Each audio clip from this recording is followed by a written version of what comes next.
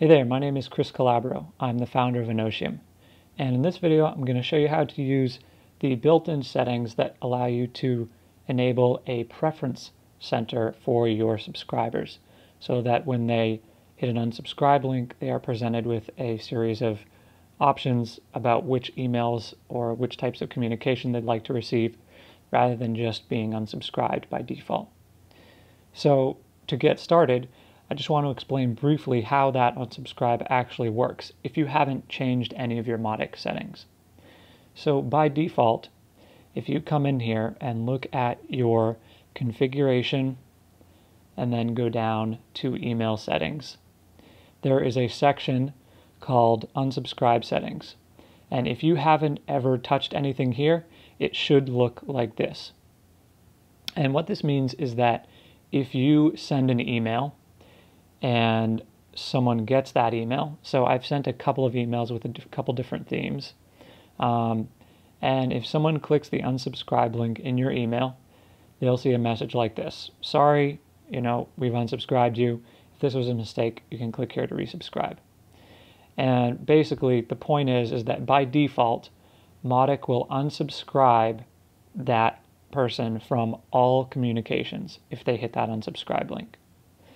Um, now, that's okay, but in many situations, you're probably going to want to provide them with a preference center or give them a choice to receive uh, other types of communication.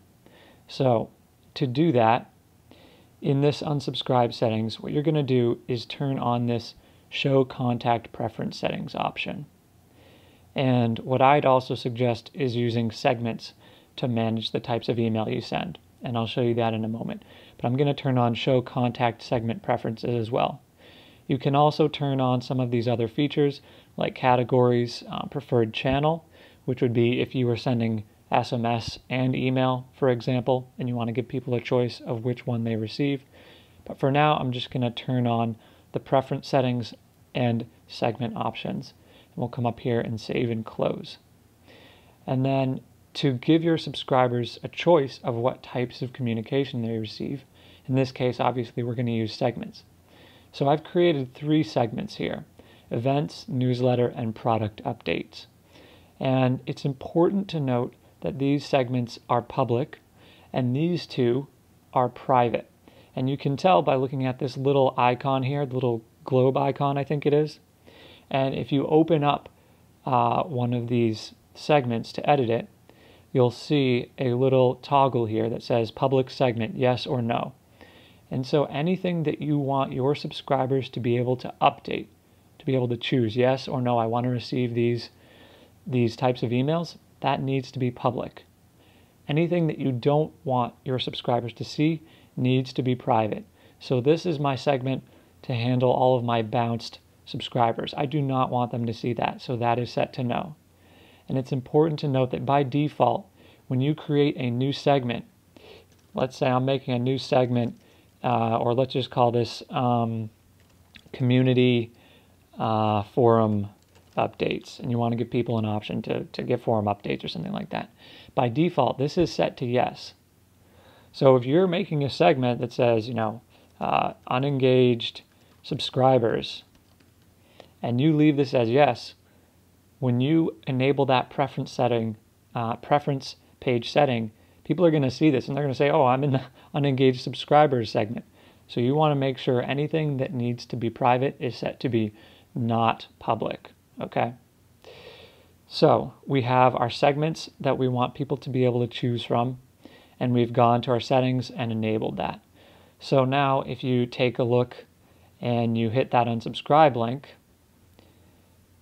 you'll see that I'm presented with the name of the subscriber, you know, contact me through email, and I can choose the segments that I wish to be part of.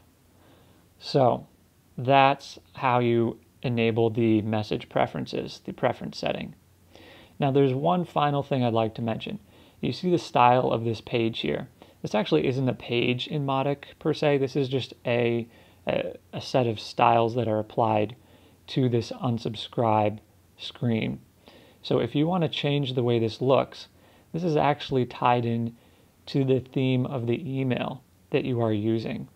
So if I come back here and I look at these other messages, if you, for example, this is the Sunday theme, right? If you unsubscribe from this, you'll see it's a different layout compared to this one. Or if you come and look at the cards theme, right? This is one of the newer themes in Mautic, and you hit unsubscribe, you'll see this one has no styling. Now, why is that? It's because some themes in Mautic don't have all three features. So to illustrate, if you look at your themes, it's possible for a theme to have a page, email, and form features. And if you look at this cards theme here, you'll see it's only an email theme. So when you come in and unsubscribe from this cards email, right, this is the cards theme, and you hit unsubscribe, that unsubscribe page has no styling by default. So that's just something to be aware of, that if you're sending from an email that doesn't have a uh, theme for the for the page, um, that it's going to show, you know, no styles. It's basically going to look like this.